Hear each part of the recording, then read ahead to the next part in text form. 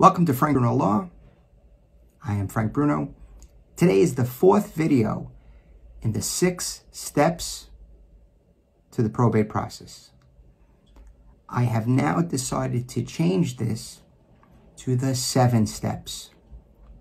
We've gone through, uh, I started the series with the intention of preparing uh, a giveaway called the six steps to the probate process. And then uh, in real time every day. I've been working a little bit on it. And I decided to do seven steps. The sixth step I've been speaking about is the uh, uh, filing of the petition, the actual uh, physical petition, whether that be electronically uh, or in person. And if it's truly uncontested, if all of the uh, the heirs, beneficiaries, people in the will consent to probate. It's uncontested, it gets filed without a court date. If the executor or the distribution is challenged in any way, it becomes a contested matter and you have to make an application to the court for a citation.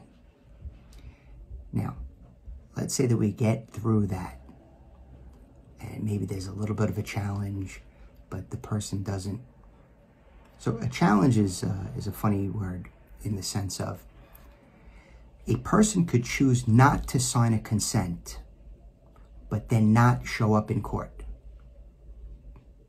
That's less contested, um, but it would have uh, delayed the process and caused a court date. Say we get past the citation um, issue in the surrogate's court.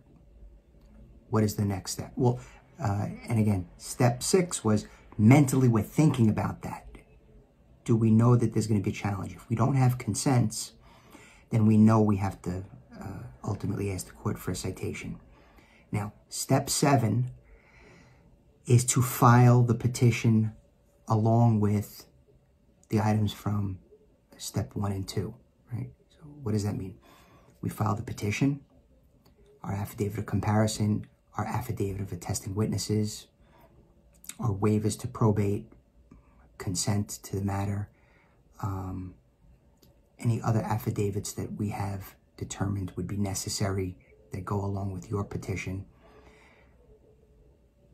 With the original last will and testament, the original paid funeral bill, and the original uh, certified death certificate.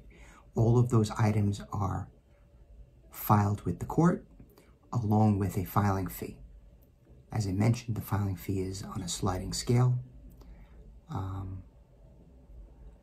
and once it's filed in the court, then we can uh, wait for the surrogate. That's the judge that's in the probate court in New York. Our probate court is called the surrogate's court. The surrogate is the judge in that court, will issue letters testamentary. Okay? So that's the probate process in a nutshell. Even as I try to make it simple, it's almost like a choose your own ending book because it, it depends along the way what happens.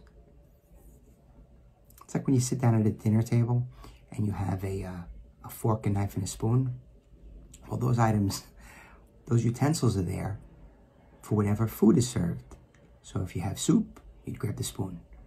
If you have uh, a meat, you might grab the fork and the knife. I'm going to work out that, uh, that analogy for future use. If you would like to speak about your probate matter, if you don't have a will, that would be an administration please give me a call about that as well. I can work you through the process.